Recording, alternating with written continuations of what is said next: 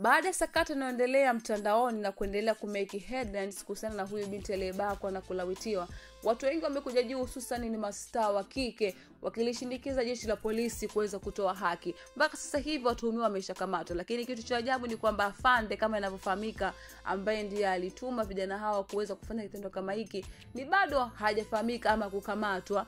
Lakini pia hata hawa watuhumiwa pia wameendelea kukaa na hayo mashtaka.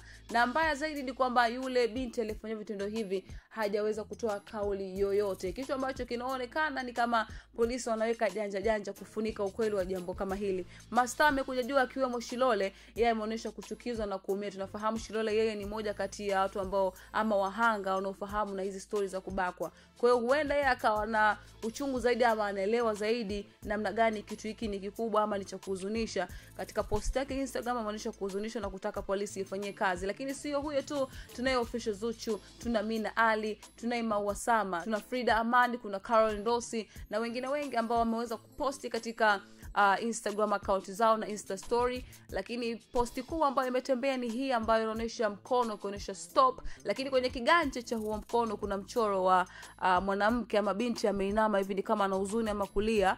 Na caption pale anasema enough is enough hakiitendeke kwa hiyo hiki ndio kitu ambacho kimeonekana katika posti nyingi lakini ni kwa upande tu wa mastaa ama wasanii wa kike. Kwa upande wa wanaume ni wachache sana kama oscar oscar bidazen ndio unaweza ukaona wamelizungumzia hilo swala lakini kwa mastaa wa kiume wa wasanii wa bongo flava ni kama wako kima tunaona j melod ajazungumza chochote. Tuna wengi kuna diamond platinums anaendelea tu kuposti kuisapoti kwa masavaa kumeki zile uh, challenge lakini hajazungumza chochote. Tunafahamu hawa ni watu maarufu zaidi wanaotazamwa wana influence kubwa na mashabiki wa kike na wa kiume.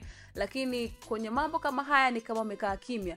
Harmonize alikuwa akisapoti ngoma ya yanga waliweza kutoa ngoma mapema sana kusapoti mambo ya mipira lakini pia na siasa. Lakini kwenye mambo kama haya ni kama wameliabuyu hivi na kuacha watoto wa kike waendelee wao kivyao. Sijajua ni kwa nini wameamua kuliabuyu mambo kama haya lakini naomba tuambie kwenye comment wewe unalichukuliaje suala hili. Hii ni bingo online na mimi ni adela wat usisahau kusubscribe kulike and comment